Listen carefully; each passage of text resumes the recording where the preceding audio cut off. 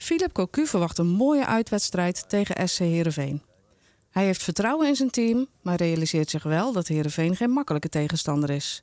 En de druk op winst is groot. Dus er is alles aan gelegen om, uh, om een goed resultaat te halen. Want uh, het is natuurlijk nog vroeg in het seizoen, maar ja, je wil wel uh, mee blijven doen om de bovenste plekken. En daarbij is een overwinning eigenlijk noodzakelijk. Denk als, als, als, als dat lukt, dan, dan sluiten we met een positief gevoel het blok af.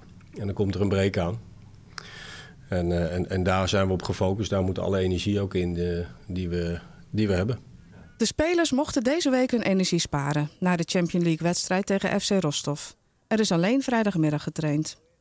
Cocu had zijn team liever nog een dag meer rust gegeven. Hij vroeg om uitstel van de wedstrijd, maar Heerenveen zei nee.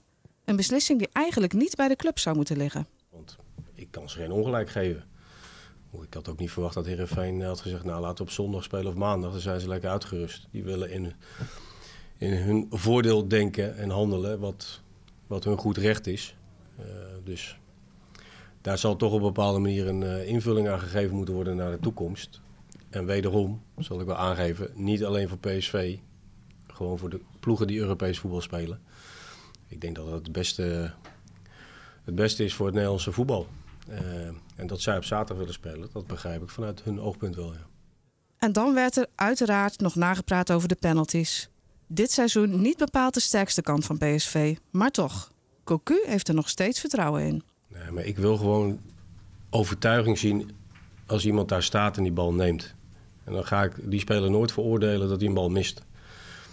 Maar als je, als je het, het twijfel hebt of uh, uh, je hebt geen overtuiging in hoe je een bal neemt, ja, dan had je hem niet moeten nemen. en uh, nee, ik kan op de, de penalty van Prupper weinig aanmerken. Die is gewoon hard, zuiver. Oké, okay, keepershoogte. Als hij er over de grond is, heeft hij hem niet. En datzelfde geldt eigenlijk voor de penalty van Guardado. Ja, dan neemt de speler zijn verantwoordelijkheid. en hij doet het met overtuiging, maar hij kan hem missen. Maar ik ga niet op de bank zitten van, oh, oh misschien had hij mis. Nee, ik, ik ga ervan uit dat hij erin gaat.